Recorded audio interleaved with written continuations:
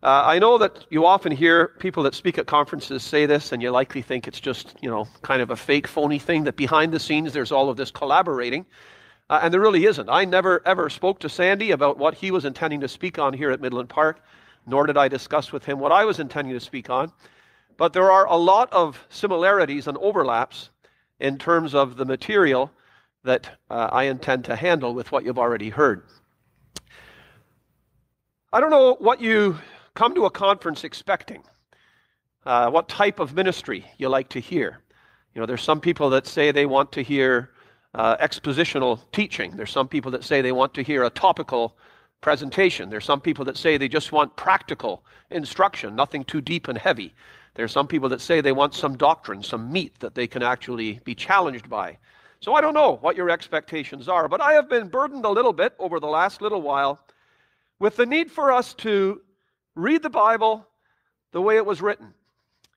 We have at our convenience today what no generation before us has had, which is the ability to almost instantaneously search the Bible, whether it's with a Google search or with Bible software, and topical studies, which at one time involved tremendous digging into the Word of God to find various passages that dealt with the subject can now be done almost instantaneously. What does the Bible say about marriage? And bam, you'll have 82 references that'll tell you everything the Bible says about marriage. Or what does the Bible say about sanctification? Or word studies. How many times is this word found? Or if you graduate to the next level, you find the Strong's number and you look up the Strong's number word and get the Greek word and how many times it's used. Bible study has become easier in many respects. But my specific burden for my ministry sessions at this conference is this the New Testament, if we take it as it has been given to us, there's 27 books. The first five books are history books Matthew, Mark, Luke, John, and Acts. The last book is a prophecy, the revelation of Jesus Christ. In between those, we have 21 books that are letters. The Bible actually wasn't given to us as a glossary or an encyclopedia. It wasn't given to us as a, a, systematic theology textbook. And I'm not despising those, those are good. But that's not how the Bible was given to us. And so the vast majority of teaching that we have in the New Testament is given to us in the form of letters. And every one of those letters has a unique set of circumstances attached to it. It's got a writer, it's got the original recipients. Most of them, it's fairly easy to see the purpose for which it was written. And as you understand the writer, the recipients, where it fits into the history that we have in the book of Acts, the topics that it takes up, you begin to understand the teaching that it contains. And then as you begin to understand the book of Ephesians and the book of Colossians or the book of First Thessalonians, and you see how they fit together with the other letters, you see how that teaching comes together. Now, I can't tell you why God chose to reveal himself and his truth in this way. That's not my prerogative. I'm not sure it's terribly fruitful to argue or think about why. The fact is that he did. And so, my burden is this I think it's our responsibility, therefore, and we'll touch a little bit tomorrow on personal Bible study, but I think it's our responsibility to accept the Bible the way it's been given and to seek to learn from it. So, what I would like to do is to take up likely one of the best known uh, letters in the New Testament, likely one that most believers are reasonably familiar with, and just talk a little bit about the truth contained in that letter. So, before I start, this is more for the younger ones. The older ones, you'll know all this. But for the younger ones, close your Bibles. You always say, open your Bibles. Close your Bibles. No cheating. Remember that little verse, Thou God seest me. So if you're cheating, you're going to get caught. I'm going to speak to you about the book of Philippians. Before I start, I'm going to ask eight questions. And if you got one of these little outlines, on the back, there's a blank page. So if you have a writing instrument, you ever notice that the fancy pens, they don't call them pens? Someone bought me a Mont Blanc pen. If you see my Mont Blanc pen and you think, man, he's never ever can speak on financial stewardship, and covetousness because he carries a Mont Blanc pen. I'll tell you, somebody bought it for me. I never in my wildest dreams would spend the money that it takes to buy a Mont Blanc pen. But I dropped it and it broke, and I went into the Mont Blanc store in Yorkdale Mall in Toronto and was absolutely floored at what they cost. And I had to spend an exorbitant amount of money to get it fixed. But what I notice is they don't call them pens, they call them writing instruments. So if you have a writing instrument with you, you get the back of your form. I'm going to ask you some questions.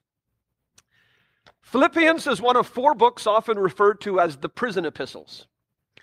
If you've never heard of that, then skip to question two. If you have heard of that, what are the other three? What are the other three books which, along with Philippians, are referred to as the prison epistles? I'll give you a hint. They're written by Paul, and they were written by Paul when he was in prison. Okay, question number two, an easy one. How many chapters? How many chapters are there in the letter to the Philippians? So if you know the answer, then you write it down. If you don't, cheat. Look at somebody beside you. Question three. I'll give you the answer to that one. There's four. Four chapters. Question three. What were Paul's main reasons for writing this letter to the Philippians? I don't expect you to know all of them, but do you know any of them? Because my hope is that by the end of these two days, you will have gained at least this rudimentary level of knowledge that will whet your appetite to dig deeper into this letter and other letters, because you can take this approach to any of the letters that are in the New Testament.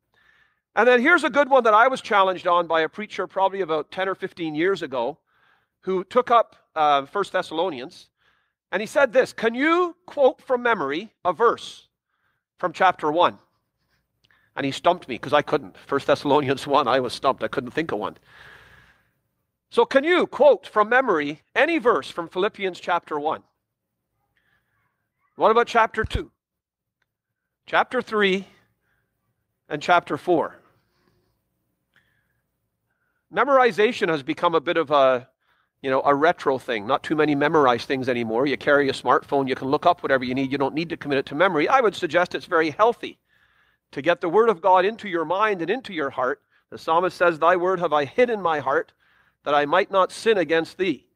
So it's a healthy thing. So one verse from each of those four chapters.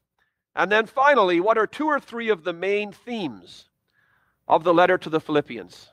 Now, Brother Sandy took up 1 Thessalonians, and although he dealt with the very end of chapter 5, he gave us a quick overview of the five chapters and the main teaching of the epistle. So that's what I would like to try to get into your minds. And if you have a blank sheet, then pull that out tomorrow afternoon and see if you can fill it in. Okay? The letter to the Philippians. So let's open it and we will look at it together. I'll tell you my intention today is the first message today is just a very quick introduction to the book. And then I want to spend my time going over the main themes in the epistle. So, my intention today is in this morning session, we'll look at a quick overview uh, of the book, the purpose, the reasons for which it was written. And I'm going to ask you to keep your Bible open because I really would like you to see from your Bible the things that I'm saying. And then we're going to look quickly this morning at two themes the theme of unity, which is very prominent in the book, and secondly, the theme of joy and rejoicing, which is very prominent in the book. And it's interesting that Sandy's first verse was rejoice evermore. We'll see how that theme runs through this letter. This afternoon, Lord willing, we're going to look at the subject of the believer's mind. And that is another great theme in the letter to the Philippians the mind, a healthy mind that we should try to cultivate as believers. And then, Lord willing, tomorrow afternoon, we will look at really the predominant theme in the book of Philippians is the person of the Lord Jesus Christ. Perhaps more than any other New Testament letter, it is saturated with truth concerning the Lord Jesus Christ. So, those are the, the, the subjects we're going to take up. So, we'll just read at the beginning Verse 1, chapter 1, the letter to the Philippians Paul and Timotheus, the servants of Jesus Christ, to all the saints in Christ Jesus which are at Philippi, with the bishops and deacons. Grace be unto you, and peace from God our Father and from the Lord Jesus Christ. So, very quickly, an introduction. This letter was written by Paul. It was written to the Christians meeting in an assembly in Philippi. Now, Sandy mentioned that Thessalonica the work began in what we now know of as Acts chapter 17. Acts chapter 17, at the beginning of the chapter, Paul travels to this city of Thessalonica, and that is where the background to the assembly there, and hence the letter written to that assembly, is to be found. Well, if you just back up one chapter to chapter 16 in the book of Acts, you'll come to the origin of the Lord's work in the city of Philippi. And you remember that Paul and Silas came to Philippi, the gospel was preached, people were saved, a Philippian jailer, Lydia, the seller of purple, the demon possessed girl, and the work of God began in Philippi. If you read through the book of Acts, you come to chapter 28. At the end of the book of Acts, in Acts chapter 28, Paul is in prison in Rome. And it is likely from that prison cell that Paul wrote these four letters that we refer to as the prison epistles. He wrote a letter to the assembly in Ephesus, a letter to the assembly in Colossae, a letter to the assembly in Philippi, and a personal letter to a man called Philemon. Those four grouped together are often referred to as the prison epistles. So, this letter to the Christians in Philippi was written around historically the time at the very end of the book of Acts. Paul's in prison, he's writing back to them, and in terms of the reasons for writing the letter, we'll just quickly go through here and I'll show you. I think there's probably five reasons. It's different than some other letters in that there's no massive issue he's writing to correct.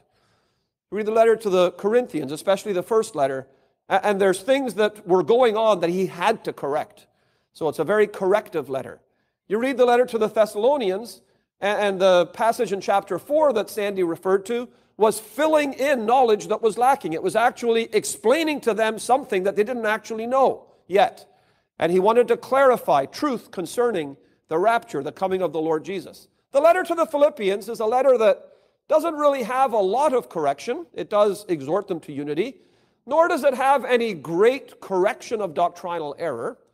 But there's at least five reasons that he wrote to them. Number one is when you come to verse 12 of chapter 1, Paul says, I would that you should understand, brethren, that the things which happened unto me have fallen out rather unto the furtherance of the gospel.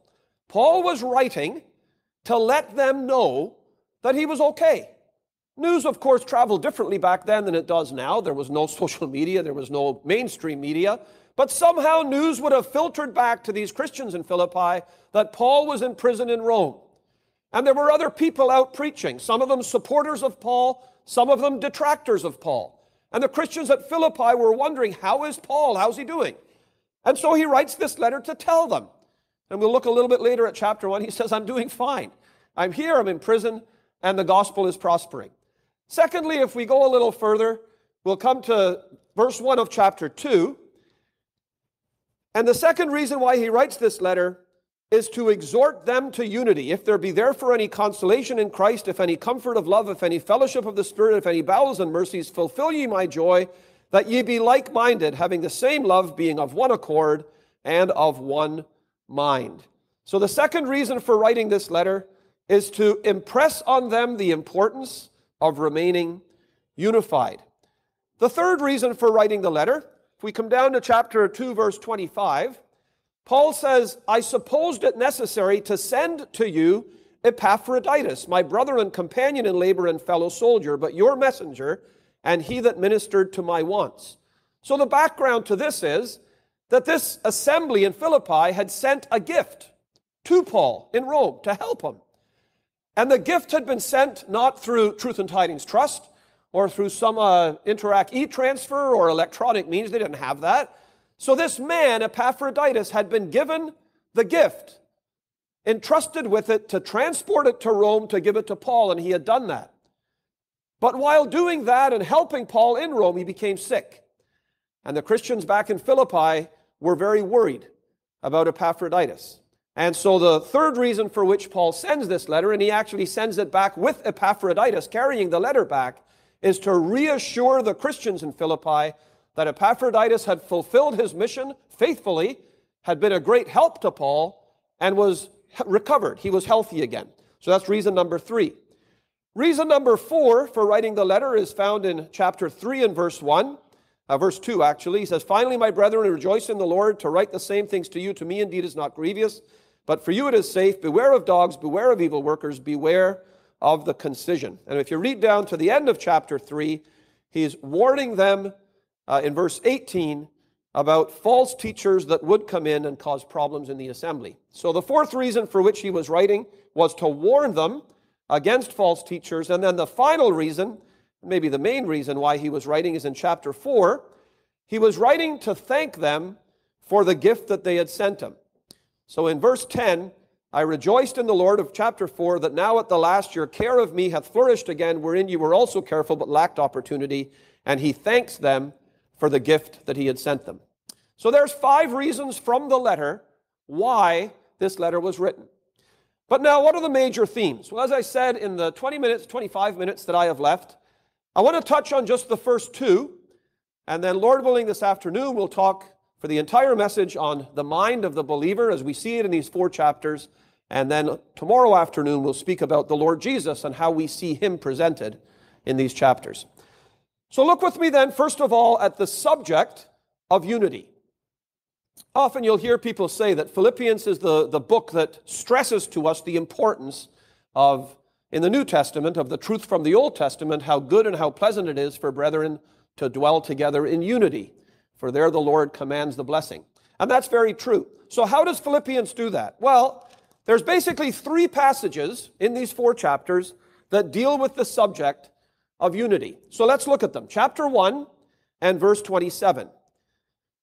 Chapter 1 and verse 27 says, Only let your conversation or your way of living, your manner of life, your lifestyle, be as it becometh the gospel of Christ, that whether I come and see you or else be absent, I may hear of your affairs, that ye stand fast in one spirit, with one mind, striving together for the faith of the gospel. So that's what Paul's desire was. Whether I come and see you, or if I don't get there, I still want to hear reports that describe your assembly like this This is an assembly of Christians that are standing fast in one spirit, with one mind, striving together for the faith of the gospel. And then the second passage that deals with the subject of unity is in chapter 2. We read it already. Uh, he says in verse 2 Fulfill ye my joy, that ye be like minded, having the same love, being of one accord, of one mind. So you have these expressions, descriptive expressions. In chapter 1, we have them standing fast, we have them striving together. In chapter 2, we have them of one accord. And then the third passage dealing with the subject of unity is in chapter 4, where it's not a general exhortation to the entire assembly, it's a specific pleading to two sisters. I beseech, verse 2 of chapter 4, I beseech Euodias and beseech Syntyche that they be of the same mind in the Lord. Unity is something which God highly values. Unity is something, at least unity as God would have it, is something the devil absolutely hates. And therefore, from the very beginning, the devil's purpose has always been to divide what God wanted to have united. And so, right at the very beginning of human history, he successfully was able to drive a wedge at the greatest division possible between God and man. And most of you have likely heard that very, very well known poem. When sin first raised its ugly head, it caused a widening span between the man who walked with God and God who made the man. And the story of the gospel goes on through that poem. That's the first great act of division that the devil was able to accomplish. He attempted to drive a wedge between the man and the woman. God had said it's not good for a man to be alone, and He made a help suitable for him. And at the very beginning of our Bibles, we see how marriage was put in place by God, intended to be a permanent union, mirroring the relationship with Christ in the church or modeling it. What did the devil do? The very first words almost that Adam speaks to the Lord, the woman thou gavest me. And right away, you see the beginning of a wedge coming in. And tragically, you see down through the years how successfully the devil divides marriages. He seeks to divide assemblies. Brother Sandy has already said he has been discouragingly effective at dividing assemblies. And the vast majority of division, the vast majority, I would echo what Sandy says, comes through personal clashes, family feuds, fleshly outbursts. And dear brother or sister today, you or me, we're not above being the source of division. But as we look at the letter to the Philippians, not only is there this appeal to unity, uh, not only is there a, an emphasis that it's, it's got to be for the sake of the gospel, that's what you have in chapter 1. striving together for the faith of the gospel, effectiveness in spiritual service, effectiveness in assembly testimony requires unity. But I want you to notice something. Unity, while a very fragile thing, unity requires like mindedness. Now, I want to be careful what I say here. I don't want anyone misunderstanding me. When I use the term like mindedness, I want to show you from Philippians, I'm using it in the way this letter uses it in the Bible. Like mindedness doesn't mean that everyone has to agree with me. And like mindedness doesn't necessarily mean that we have to agree on every detail. It's quite possible for us, and it should actually be something we strive for, for us to maintain unity in essential things and allow things that are not essential to never divide us. So if somebody wants to attend meetings with certain type of clothing and I want to attend meetings with a different type of clothing, please don't allow that to come in and be a source of division. If somebody thinks we should use the old version Believer's Hymn Book because that's what our foreparents used, and heretics like Midland Park use a new version of the Believer's Hymn Book, don't let something like that divide us. So there's many issues like that where a matter of preference a matter just of precedent, the way that we've done things, those should not be issues that we allow to divide us. And it's very dangerous if we do. But it's also very dangerous if we simply take the buzzwords that are very popular today and claim that unity results from just setting aside our differences and uniting. Now, that might sound appealing. And if our differences are that I think I should wear a tie and somebody here today doesn't think they should wear a tie, then by all means, set aside those differences and unite. But if setting aside our differences for the sake of the gospel means that we do not agree on scriptural truth, then I believe the letter of the Philippians shows us we can't be unified. Truth unites. But by its very def- definition, when truth unites, it unites those that believe that truth and are like minded. So I want you to look with me at these passages. Philippians chapter 1, at the end in verse 27, where we read, it doesn't just say that you will stand fast in one spirit, that you will strive together. In between those two expressions, you have this little expression that you'll stand fast in one spirit with one mind. Now, that word literally means thinking the same thing. When you come to chapter 2 at the beginning, in verse 2, fulfill ye my joy, being of one accord. What else does the verse say? Fulfill ye my joy, that ye be like minded. That means thinking the same thing having the same love, being of one accord, of one mind. What unites an assembly of believers? First of all, absolutely, absolutely is life. We, we need divine life. That's what brings us into relationship with God and brings us into relationship with one another. But it is also a common understanding of the truth of the Word of God.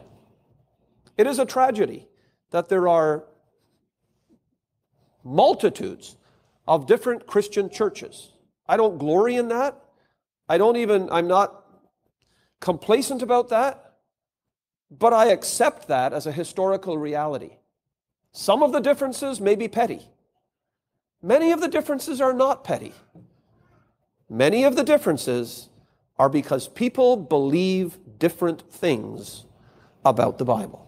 They read the same Bible, but they believe different things. So I would just issue an appeal today to everyone who's here, young or old or middle aged.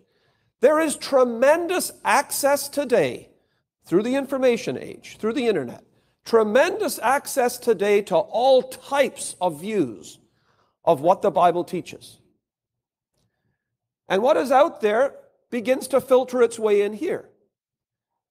And as people are exposed to various ways of viewing a passage and various ways of understanding truth, it will inevitably begin to express itself in disagreement about the truth of Scripture. Now, I am not talking about petty arguments of things of little consequence. I'm talking about the truth of Scripture as it's revealed to us. Assembly unity, according to Philippians, is based on thinking the same thing, not in a narrow minded, bigoted way, but in an open minded. Now, I use that term open minded not in terms of open to anything, open to the truth of the Word of God, an open minded sense of thinking the same thing. Be very, very careful. And may God preserve any of us from being a conduit through which we introduce a line of thinking or our own thinking, whether that is based on traditionalism or based on revolutionary thinking, introducing into something our own thinking that upsets and ultimately destroys the unity of a local assembly. Because God values it, God cherishes it, places a high value on it. It's never His intention that his people will be divided. But I want you to see from these passages that unity in Philippians is based on being like minded. Now, the second thing I want to touch on in my remaining time in this message is the subject of joy and rejoicing. Runs right through the epistle. And I would suggest for any not that familiar with the epistle, print it out, or if you get an electronic copy that you can highlight, go through and highlight every time you read the word joy, every time you read the word rejoicing. And then ask yourself, uh, as you read those passages, what do we learn from them? So I'm just going to point out quickly to you before my time runs out some of the times that we read about Paul's joy and Paul's rejoicing. You on your own time can go through and look at the believer's joy and rejoicing. They are told to rejoice by Paul. But let's look at some of the ones where we see Paul rejoicing. First of all, chapter 1 and verse 3. Now, again, this overlaps with some of what Sandy said. This great apostle is in prison. His circumstances were bleak. He's suffering. People are rising up all around him, speaking against him. But listen to what he says. He says, I thank my God upon every remembrance of you, always in every prayer of mine for you all, making request with joy for your fellowship in the gospel from the first day until now. I, when I was studying this passage a little, I asked myself, is my prayer life marked by joy? Joy is independent of circumstances. Paul's circumstances were bleak. And yet he says, when I pray, in every prayer of mine for you, I thank God for every remembrance of you, and I pray for you with joy for your fellowship in the gospel from the first day until now. Now, when I searched my own heart, I had to acknowledge a lot of my prayer life is not marked by joy. And then I saw another little key here. We'll see it again in chapter 4. Maybe one of the reasons my prayer life is not marked enough by joy is because my prayer life is not marked enough by thankfulness. Paul found reason to give thanks. The specific reason he had to give thanks was the fellowship of these believers in Philippi from the first day till now. It got me thinking to my own life. I started thinking back of believers If I trace the hand of God working in my life. And I can only make it personal. You do the same in your life. But as I think back, all of us have a unique set of circumstances. I was born in Trinidad. My parents were missionaries. I came to live in Canada when I was nine to go to school. My sister and I lived with my aunt and uncle. I was taken to meetings at Brackendale Gospel Hall where they were in fellowship, and I was saved when I was 10. And the man who was preaching in the series of meetings when I was saved was sitting by my bedside that when I trusted Christ was Mr. Jack Noble. His widow is 95 years old, still living in Guelph, Ontario. And as I started thinking over that, I thanked God for Jack Noble. You know, it might be trendy to throw a lot of old preachers uh, in the trash heap. Like, you know, I'm not sure God was ever in that model. These itinerant preachers traveled around. Be very, very careful of becoming bitter and jaded and opinionated about the work of God. Mr. Jack Noble, he was a failing man, like all men are, but he was a man who preached the gospel with zeal and joy and passion. God used him as an instrument to save me. I thought of where I grew up in that home with my aunt who loved me and cared for me as if we were her own children. My parents who were serving the Lord in Trinidad, a tremendous sacrifice that I haven't even begun to understand the sacrifices they made, but they left a spiritual heritage for me. I thought of the overseers in the assembly that I grew up in and how they invested in me. I thought of my wobbles, pretty serious spiritual wobbles through the last year of high school and university, and different ones the Lord used at that time who took an interest in me, and He used them for my blessing. I thought of my wife who has stuck faithfully with me for over 30, I can't even think of how many now, I'll get in trouble. 34 years, I think it is, or 35, somewhere in there. She stuck with me. And as I began to think of those that the Lord has used to further his work in my life, I can bow my heart and I can give thanks. And I can do it with joy. I'll just give you one little anecdote here. I was over in Bicester number of years back now speaking at a conference there. And after the meeting ended, there was a little lady. I'm going to run out of time here, so you'll have to trace the joy yourself. But there was this little lady. She was maybe no more than, she seemed about four feet high. Maybe she was four foot six. But she was just this little polite English woman. She came to me at the back of the hall at the end of the meeting, and she said to me, Are you the Andrew Ussher? And I thought maybe there's a serial killer in England called Andrew Ussher or something I've never heard of. I don't know. I didn't know how to answer. I said, Well, I'm Andrew Ussher. And she said, Oh, she pulled out of her Bible, a well worn little Bible, she pulled out of her Bible a little black and white, wrinkly photograph of my mom and my dad, my brother and my sister and me. That photograph was taken in 1972 in Northern Ireland, the only time I ever really lived in Northern Ireland for a year when mom and dad were on furlough. And dad, as many missionary families did, would take these dorky looking pictures of them and their kids and take them around to all these halls, and it's super embarrassing. Well, this lady was holding this picture, and she said, I got this picture at a missionary meeting that Danny Ussher spoke at. And she said, All through the years, I have prayed for this family, and I've prayed for you by name.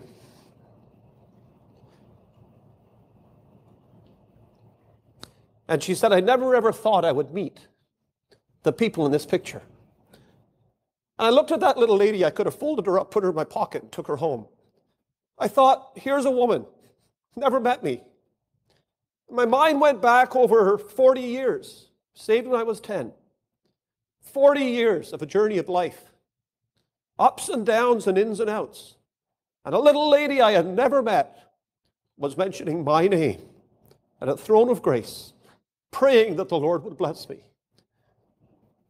We have every reason to have joy when we pray. Our prayers don't have to be defeatist. Our prayers don't have to be desperate complaining to the Lord about how bad everything is. When we come to chapter 4, we'll find that in everything we're to give thanks. Now, sorry, that's, that's 1 Thessalonians. When we come to chapter 4, we're going to find this Be anxious for nothing, but in everything, by prayer and supplication, with thanksgiving, let your requests be made known to God. So, the first time we find joy here from the Apostle Paul is joy in his prayer life. Come down to verse 18. Verse 18 of chapter 1. Paul has just described in these previous verses that he's in prison. Other people now are much bolder to preach the gospel. Most of them, possibly, doesn't say most, but some of them are doing it for very good reasons. But some of them are doing it for uh, bad reasons. Verse 15, out of envy and strife. Some of them are preaching out of contention, not sincerely, supposing to add affliction to his bonds. But listen to what he says. He says, verse 18, What then, notwithstanding every way, whether in pretense or in truth, Christ is preached, and I therein do rejoice. Paul says Christ is being preached. And he says, I'm not ignorant. I'm not naive. I don't have my head stuck in the sand. I'm aware. I'm aware that there's people out there that don't like me. I'm aware that there's people out there that are actually working against me. Their motives might be wrong, but they are preaching Christ. And to the extent that Christ is being preached, I will rejoice. How do we do with that? You know, maybe there's avenues of service where the Lord has used you within an assembly or among assemblies. And then, for circumstances that you feel are beyond your control, those opportunities for service begin to dry up, and maybe you're misunderstood, and maybe you're judged unfairly. And maybe there's people who have said things that are unkind, and maybe there's people who are trampling on work that you did, and there's people who are taking over and taking credit for it. How do you respond? Again, as Brother Sandy said, we can respond by crawling back in and licking our wounds and feeling sorry for ourselves and nursing the injustice. Or we can take the example of Paul and say, Christ is being preached. And if some of those wounds remain in the past, let them stay in the past. And if some of those people don't deserve to get away with it, that's not your axe to grind or mine. Leave it. Leave it. It'll sour your own soul, and bitterness will eat like a cancer and ruin your usefulness for God. So choose joy. I don't mean in an empty, shallow sense. I mean in a legitimate sense, like Paul. Rejoice that the work of God is still going on. Sandy said another very good thing, which is a lot of the work of God was done before I was born. Now, to some of you, that means seems astounding in your case. It's hard to imagine that the work of God actually was going on before you came along, isn't it? But it was. And if the Lord doesn't return, it'll continue to go on after you're gone and after I'm gone. It's His work. And He's more than capable of raising His resources, and He's more than capable of furthering His purposes. So if we see His purposes moving forward, then like Paul, let us rejoice. Now, the final one I'll say about Paul, and then I will sit down, is uh, verse 10 of chapter 4. We'll skip over a few. You can go through them on your own. But verse 10 of chapter 4. I rejoiced in the Lord greatly, that now at the last your care of me hath flourished again, wherein ye were also careful, but ye lacked opportunity. Paul rejoiced greatly here because he received a gift financial support from the Christians in Philippi. Chapter 1, he says, that he was thankful for their fellowship in the gospel from the first day till now. And in chapter 4, he fills in the details and says, I rejoiced greatly that now at the last your care for me has flourished again. Not very many times will you hear from a conference platform an exhortation to give your money to support the Lord's work. And I know that one of the reasons, and I respect that one of the reasons for that is many of the men who speak from a platform like this do not have secular employment and they rely. They rely on the Lord for their support, but the means the Lord uses to support them is by burdening the hearts of Christians like you and me to give of our financial resources to support those involved in the Lord's work. I have a job, I work. Therefore, I'm not saying I'm above, it, I'm not saying that in a proud sense at all. I'm just saying that I feel it's important to stress the grace and the privilege of giving. It isn't just the amount of money, although the money certainly helps. It's the expression of support. My parents were missionaries, and with this I'll close. My parents were missionaries in Trinidad. Back in the days before there was direct deposit and electronic transfer and everything else. And I can tell you that the most exciting moment of every day in Trinidad was when the mailman came because the mailman rode a bicycle and he would ride down the street where our house was. And I used to sit out on the front porch uh, if it wasn't a school day, and I could see the mailman coming down on his bike. And if he stopped at our mailbox and something went in, it was my job as a little boy when we were there on the summer holidays. I would run out, I would grab it, and I would take it into my dad.